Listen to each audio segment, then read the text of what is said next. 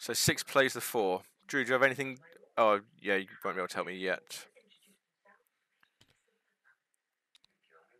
No.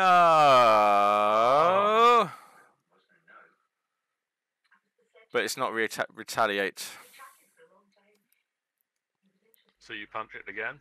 I'm going to try and punch it again, but I'm just going to have to do it on my four, on my five versus its four. No. I'm going to try that again. My five versus its four. Oh, I did. f- I did shuffle it. well, sometimes it just turns out that way. It does, yes. Drew, your turn. Please help me kill this thing. Okay. Rex. Take him. Duke, get him. So that's four plus four. Do you want to? Have you got anything you can play to it? Can't get him. Sorry? Have you got anything you can play to it? 'Cause he's four and you're four. No.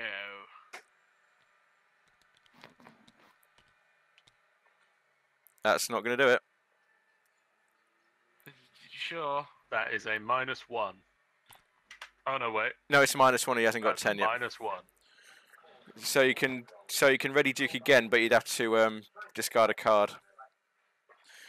Oh, Didn't we just see the uh, the agenda, the um, act card just go into just disappear into the chaos bag then? Oh! oh, This bloody Yithian observer. right. Your third action, you can still get away because it's not attacking you; it's attacking me. Can I discard again? You can only do it once, once per turn. Oh, You could still get away, but you don't want to. You don't want to get away because if you do, that puts you right in the path of the monster. No, it doesn't. He's I'm just gonna he's had to and he'd had to move to the quad. Oh, he can't move to the quad, can he? Or can he from there? He can, but he, he can move to the quad from there. Yes, and he's not engaged with it. Yeah. line of sight of the monster. I take it the skull is not good. Minus one. If you fail, If you discard the fail, discard the top three cards of your deck. We are discard top three cards of your deck. That's what the skull does. Please tell me you've got more than three cards in there. You've got twenty one.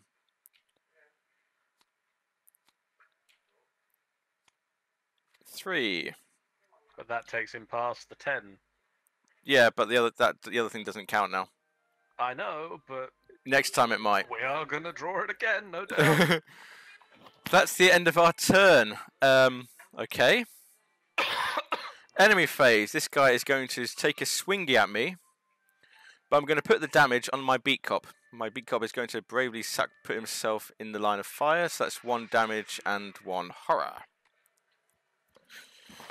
he dives in front of the Yithian observer. So the Yithian Observer is still there. I think it's ready up time now. And draw him and resource him. I didn't want to do that. I just shuffled my deck. I didn't mean to do that. Never mind.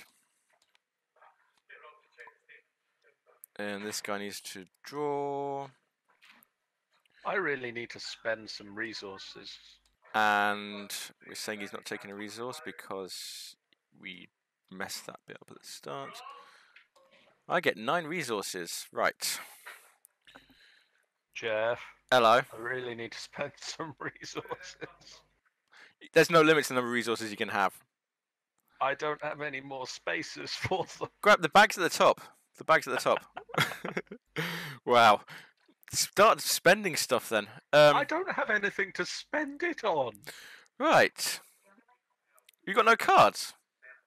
I don't have any at the moment that I can actually spend points for. Oh no. Um, okay. We ready for the next turn? Not really, but Doom. Give it the good old college try. I found a thrall. Go on, then. You can take that guy, I'm sure. Drew. Yeah.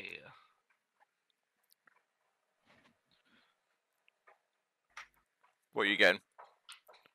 Oh, yeah, encounter. Encounter, yeah. I was like thinking of what am I doing for my turn. Ancient. Ancient evil. Oh boy. Ah, shit. That moves him down one.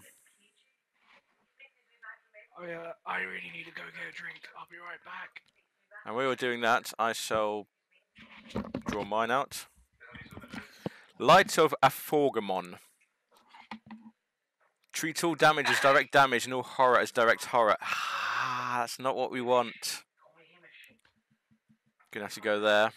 And Rex gets Eager for Death. Test willpower 2. Increases skill power by 1 for each damage on you. He's got no damage, so it's just a straight 2 willpower. And he's on 3. Right, let's just do it. Minus 2. That's 1. Fails. And he takes 2 horror. horror. He, he's still okay. And it's direct horror. Yeah. Well, he's got nothing that can absorb it. Oh, he's got that guy there. Okay.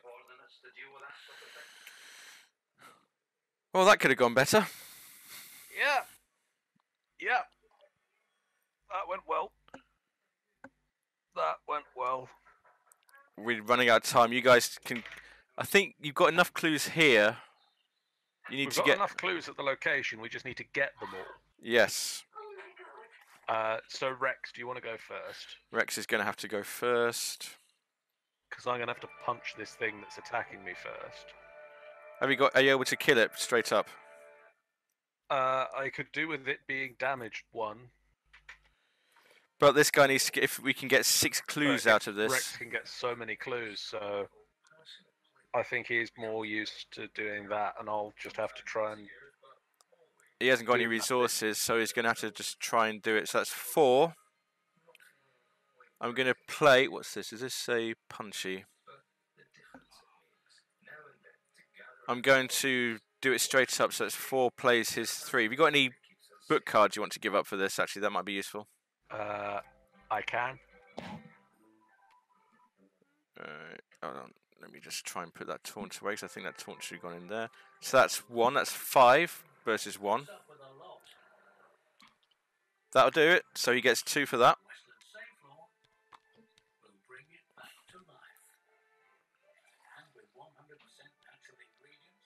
That's two.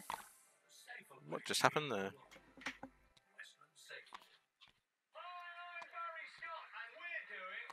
Please tell me there's two there. There we go. It's, oh, no, don't separate from it. There we go. He's going to do the same thing again. This time throw one of his own in. For once, that's five plays the one. Okay. Minus one, that'll do.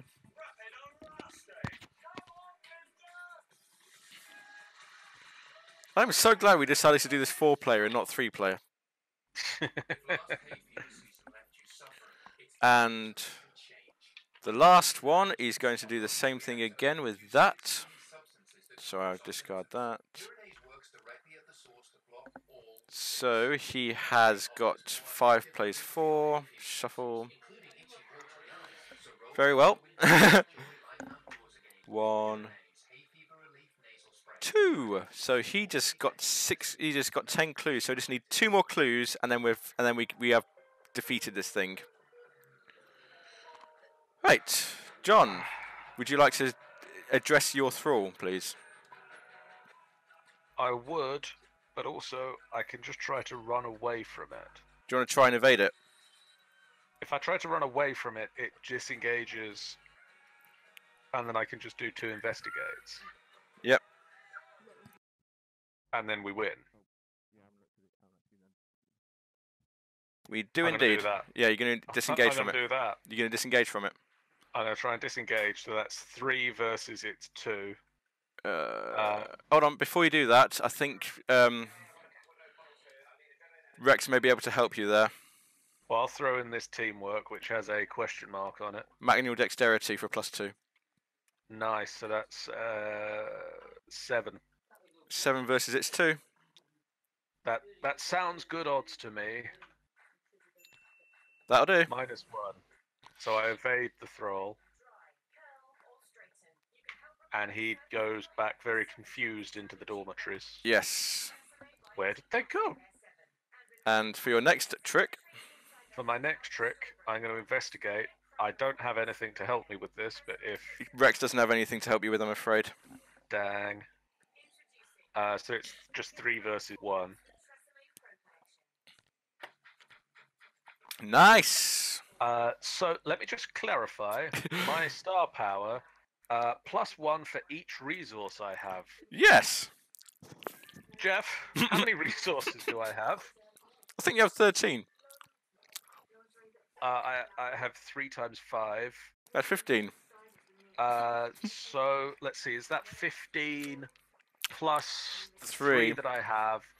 Uh, that's 18. Yes. 18 more than one. I think so. It's just about. Do I get a clue? Are you back, Drew? Oh yeah, I've been back for a while. It's just you Yeah. guys been talking. and Go on then. it for a while. And your final action, which could win us the game. Uh, so that's a plus one, so four plus one. Not as impressive, but I get another clue. And we have, what does it say? Investigators in the dormitory spend three clues as a group. Well, I've got two. And this guy's got 10. I've got. I I can't contribute. You can't contribute, you're not in the dormitory. So that's 10. And You you're can't 2. contribute. You don't have clues, and you're not in the dormitories. All right, look. Okay, I was just trying to join in. Okay. So what is it It's is nice that you attempted to help. You did lots of clue investigating earlier. right, resolution 2. Resolution two. You pull each of the dormitory's fire alarms and usher the students out of the building's north exit, hoping to make your way off campus. Many of the students are confused and exhausted because it's the middle of the night, obviously. Have you ever had a fire alarm at 2 in the morning? It's not nice. Yeah, it's not nice. But you believe I an attempt if you believe, but you believe an attempt to explain the situation will do more harm than good. Minutes later, a terrible screech echoes across the campus, piercing and shrill. You tell the students to wait and head back to the dormitories to investigate.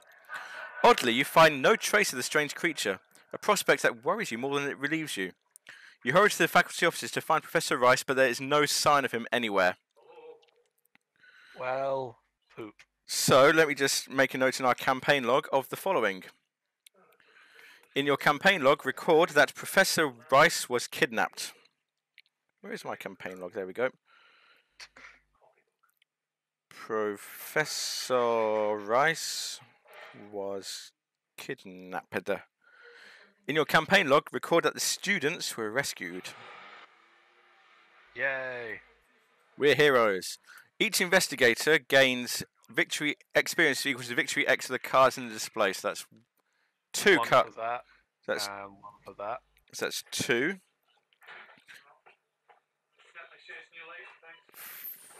We would have got we would have got more, but um, yeah. And what was the last thing to record? And otherwise, proceed to interlude one, Armitage's fate. Right.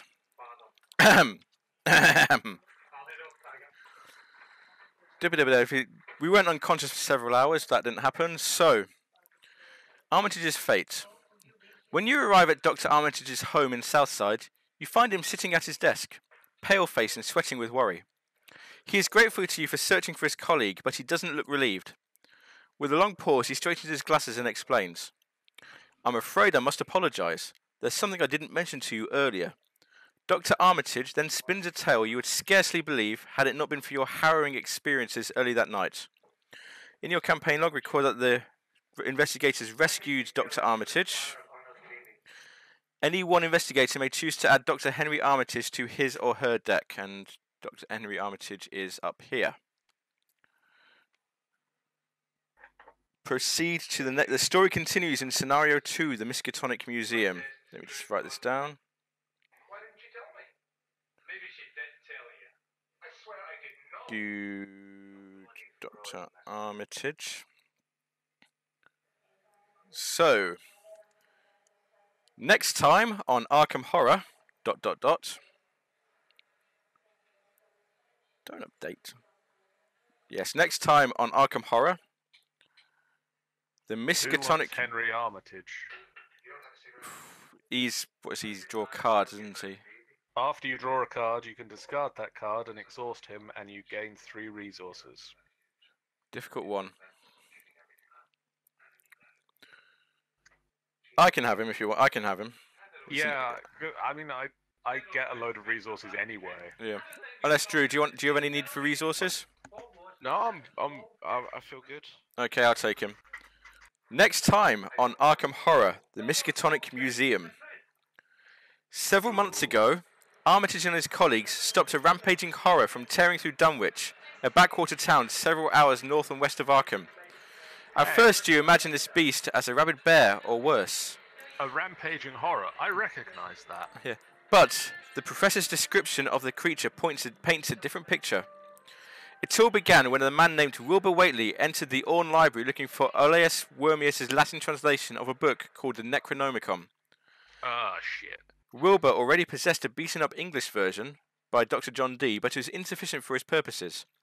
Armitage turned the man away, fearing what use the strange man had for the book. Whately returned in secret, hoping to steal the book, but was attacked by a hound guarding the university. Armitage, Rice, and Morgan later discovered Whately's body. A description of the foul corpse, semi anthropomorphic and covered in fur with a leathery hide and greenish grey tentacles, causes you to question whether or not Whately was truly human. My colleagues and I were quick to put the ordeal behind us, Armitage says with a sigh. But it seems that things haven't fully resolved themselves. I will tell you the rest later, but for now, it is imperative that we get on our hands on that copy of the Necronomicon.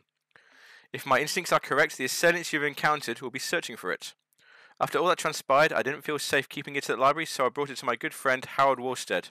He is the current curator of the Miskatonic Museum. I thought it would be safe in the museum's restricted hall, but now I'm not so sure. You must retrieve it at all costs. I fear terribly what they could do with the rites contained in its pages. Dot, dot, dot. To the museum. To the museum, and that is what we will be doing next time. Doodly doodly doodly doo. Yep. So I think we're going to finish there for the evening. That's a good place to stop, I think. So thank you all very much for watching. As always, do please drop a follow to my Twitch channel, drop a follow to John FBF on Twitch, follow us on YouTube, like, subscribe, all the buttons as usual. We will And see you I'll next time. I will be back this Sunday when I'll be playing New D and D. Tomb of Annihilation. I'll be running some new players through the jungles of Chult. As Nice. uh, last time they found their way to Camp Righteous. Uh, no, Camp Vengeance. They found their way to Camp Righteous, Ah. decided to run away from it, and have found their way to Camp Vengeance, which is the next camp up, uh, where they have agreed to guide some uh, warriors through the jungle. Ooh. What could possibly go wrong? He asked, knowing full well. yes, indeed. Knowing full well that he is the GM and can control the world. Yeah. Nothing can go wrong because he's a nice GM. No, absolutely nothing can go wrong because he's a nice GM. Shut up, you're a nice GM. Actually, I need to player in one of my games recently. I need to remember which day of the. I should check where they are in the calendar. Yeah. But for now, guys, good night. Good night.